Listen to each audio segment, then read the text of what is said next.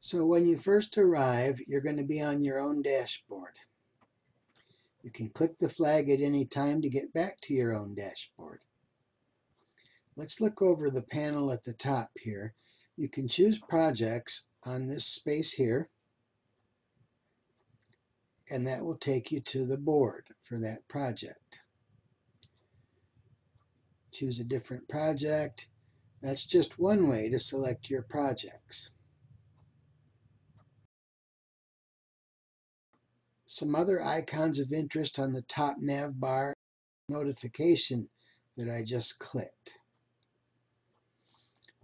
This lets me know everything that's going on with any of my projects where a notification has been created. I can check clear all and that takes care of that. Now I could click on that little down arrow. Kanboard means something completely different when it says personal project, so please don't do that. Here I can get to my dashboard a different way, or I can edit my profile. If I want to edit my profile, I'm going to take a look at the different groups that I belong to. I can look at my time zone and change that. So if I want to change my time zone, I'm going to click Edit Profile. I can edit the time zone that I'm in, and that will help coordinate communication between teams. We work asynchronously, which means we don't have to all be in the same place at the same time, but it can help the system to know what time zone you're in. Click Save when you're finished. You can also upload an avatar, which would be a profile picture, or if you don't, then you get the initials that are in the circle at top. From that drop-down menu at the top right of the screen, we can also click View Projects and then get back to any particular project. We can drag tasks around and we don't have to wait for them to finish saving in order to drag another one around. Eventually both will save.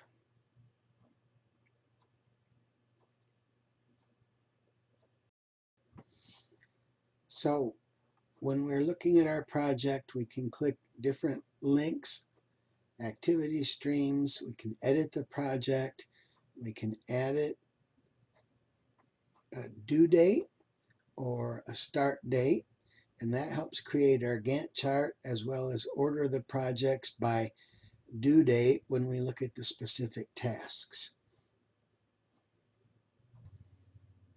We can see an activity stream for every project that tells us what has been done.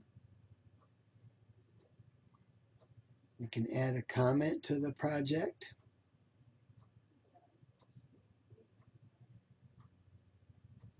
assign the comment to somebody.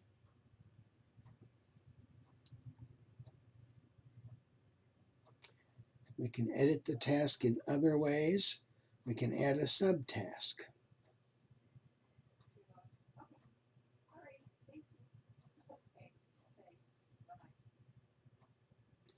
Note that every line break creates a new subtask. We can create a due date for our subtask, assign it, and save it.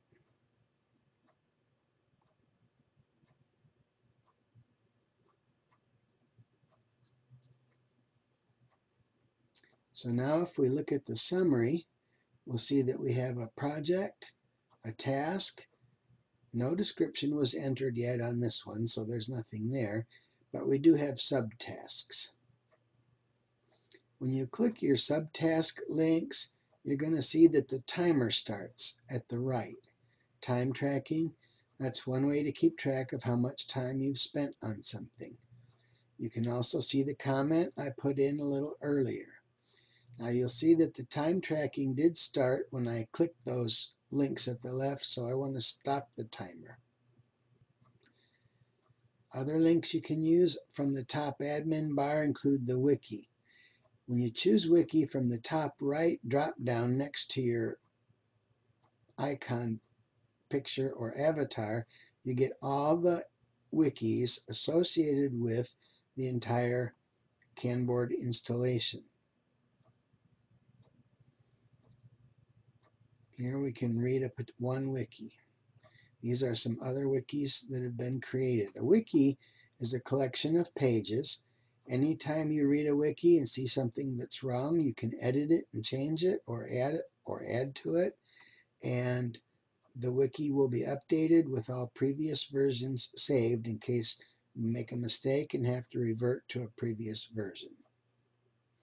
You can see that we have attachments in a wiki. Those would be file uploads. Here's a better formatted wiki page. Here's one that's a little run together. And here's a nicely formatted wiki page. To see a wiki for an individual project, use the left side menu when you're looking at the project. On the wikis, we can see the titles. We can see how many editions or versions have been made who created them, when they were created, who last modified them, and what date those wikis were modified.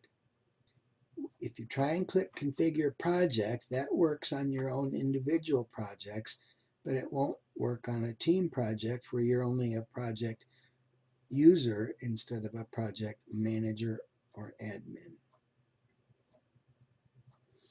When you're taking any view of the Kanboard, you have to make sure to watch that status bar at the top. If you say only status assigned to me, that's what you get. If you don't filter, you get everything.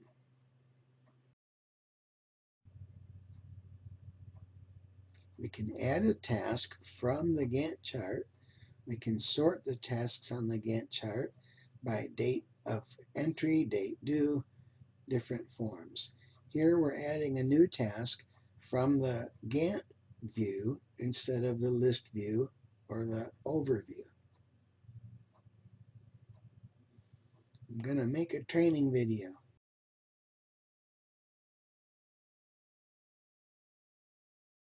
a tag. The tags will be project names. We don't need to use categories or other things, but I can also assign it to myself and click Save. So now that task has been added make training video is about the middle of the screen there. And if I need to change the dates, I can go to edit the task and I can add a due date and I can add a start date. I can also link to an external link that I want to associate with this project or task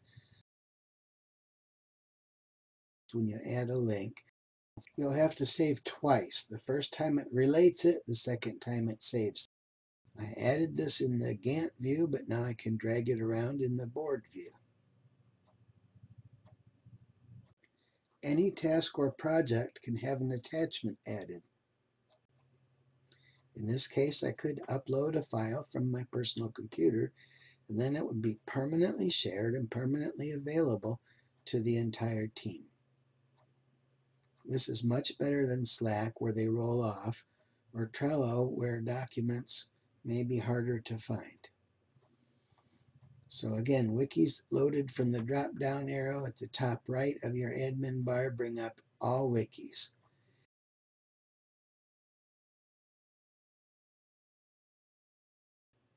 There's a nice project description with some bulleted statements. No attachments to this one but we have information about the project last activity. I can look at my tasks and see that I have 12 things to do. I can sort them by category, priority, title, or due date. Any way I want to sort the things I have to do, I can sort them in that way.